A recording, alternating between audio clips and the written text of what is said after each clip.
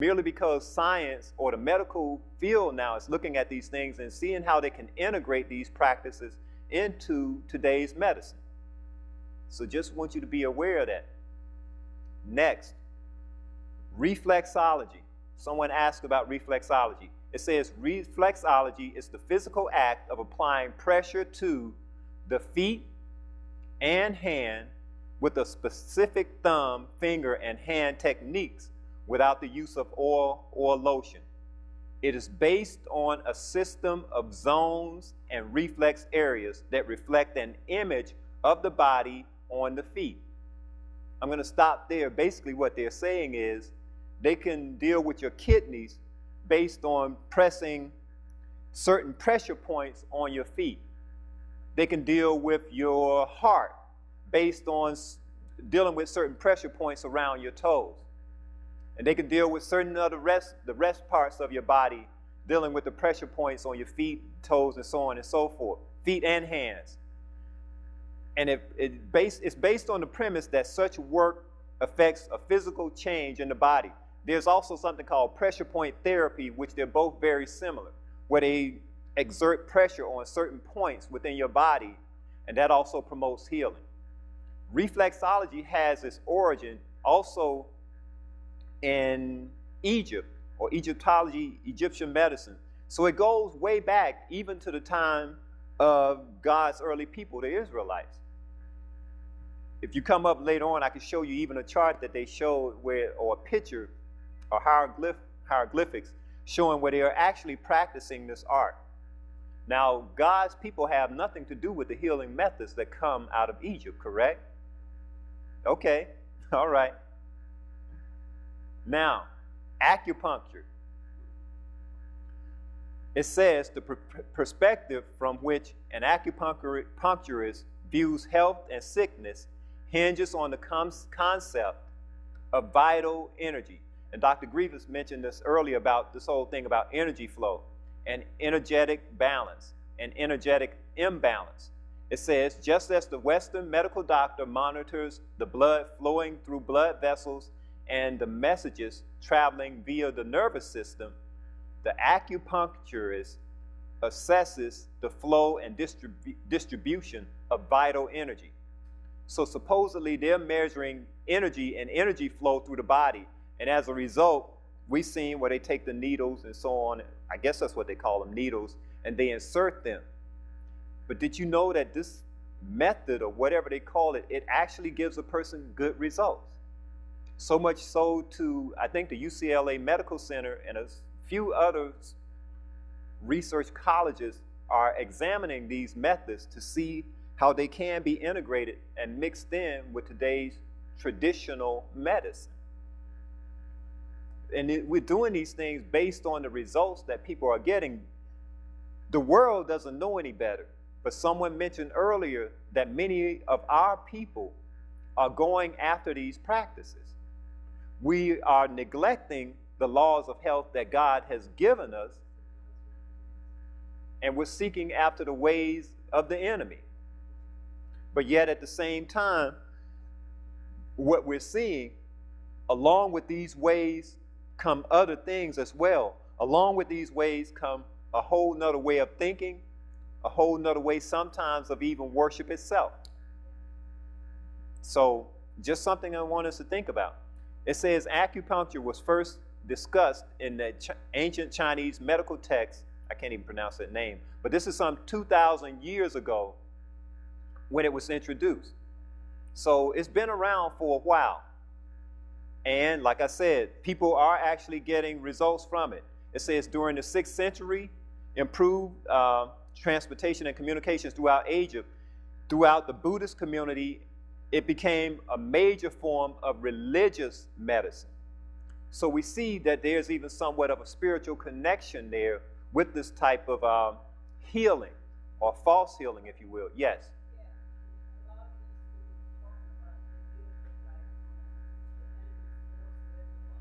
Right. Mm-hmm.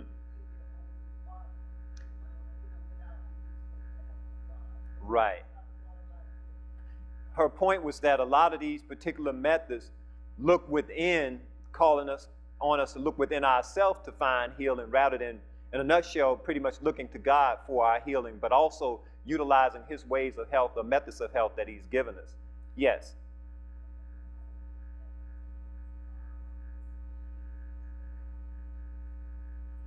Uh, her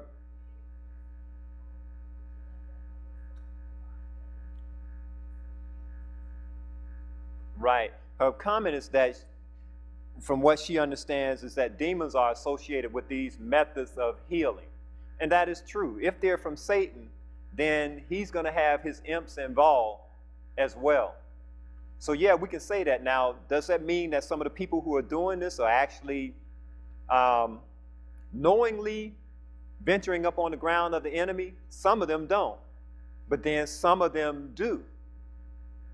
Which ones are which? You know, I don't know if we can necessarily tell, but then sometimes the Lord will give us discernment when we are falling after way, the ways that He has given us. There's a great deal of discernment that comes with that. But when you're teetering on trying to figure out which one you're going to serve, you can be open up to anything that comes along. Yes, Sister Cedar.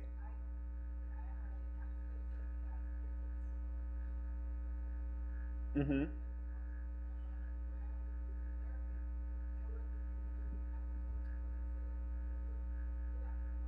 Mm-hmm.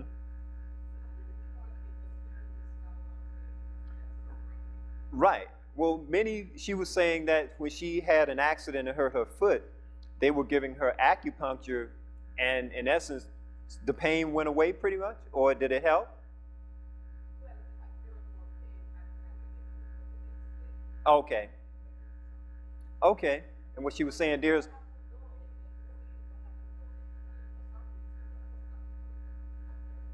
Mm-hmm.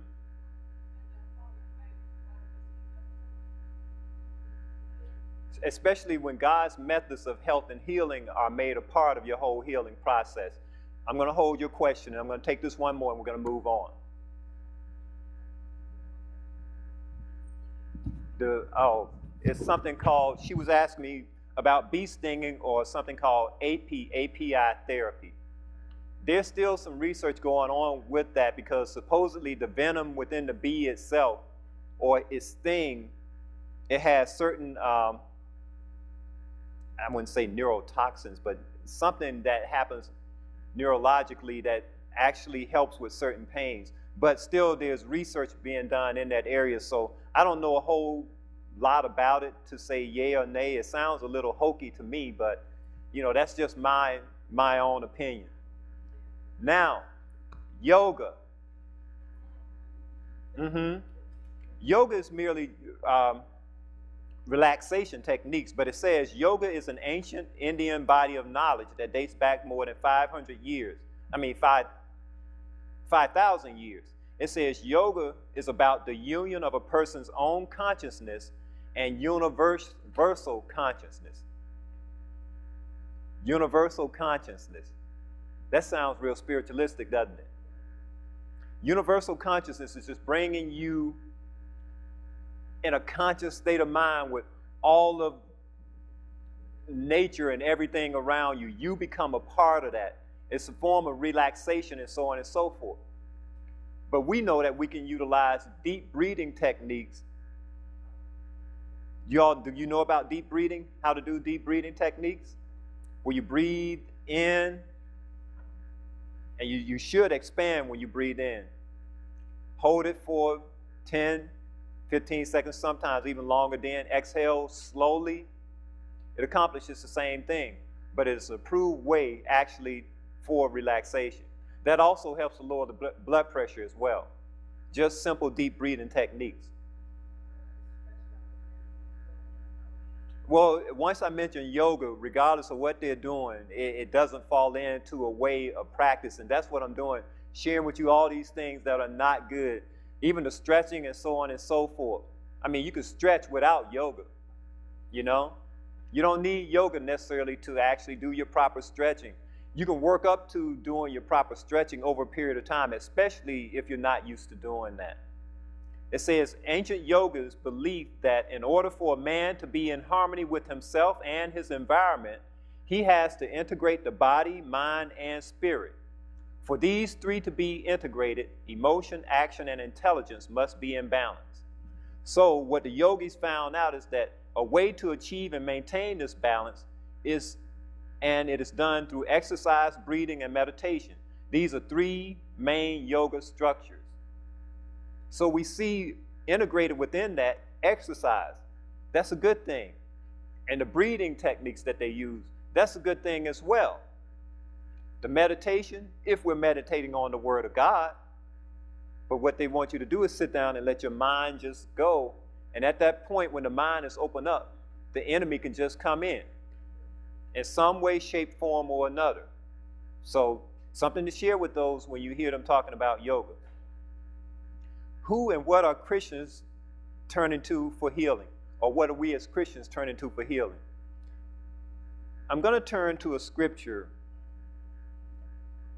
in 1 Kings chapter 1 verses 2 and 3. 1 Kings chapter 1, verses 2 and 3. Wait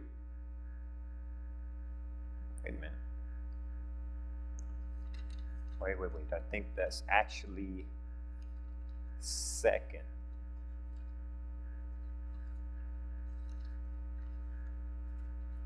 Second King, yes.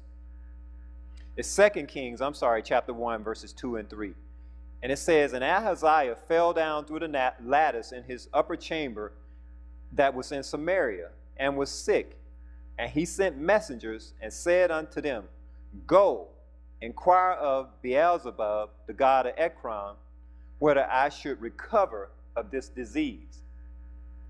It says, But the angel of the Lord said to Elijah the Tishbite, Arise, Go up to meet the messengers of the king of Samaria, and say unto them, Is it not because there is no there is not a God in Israel that ye go to inquire of Beelzebub, the God of Ekron? And so, in principle, what is happening with us when we experience certain diseases, sicknesses, and so on and so forth? Who are we seeking out or seeking after for our healing? Are we seeking after God? Are we looking to see how His laws of health have been violated? Some of us don't know these things, but that's part of the whole purpose of the teaching that we've done here is to bring us back in harmony, to bring us back into harmony with God's true methods of health and healing. Mm-hmm. And we know what God's methods of healing are pure air, sunlight, abstemiousness, rest, exercise, proper diet, the use of water, and finally, trust in divine power. It says these are the true remedies. Now, Satan's ways, I'm going to just go back through this ways of uh, healing or false healing. It says to eliminate toxins through colonic cleansing, as we discussed, on foot baths, and so on and so forth. God's ways help the body filter itself through the eight laws of health. We understand that in the book Pathways, and this is on page 75, Pathways, page 75, when we talk about detoxing or toxin, that the body, it says, inactivity is a fruitful cause of disease.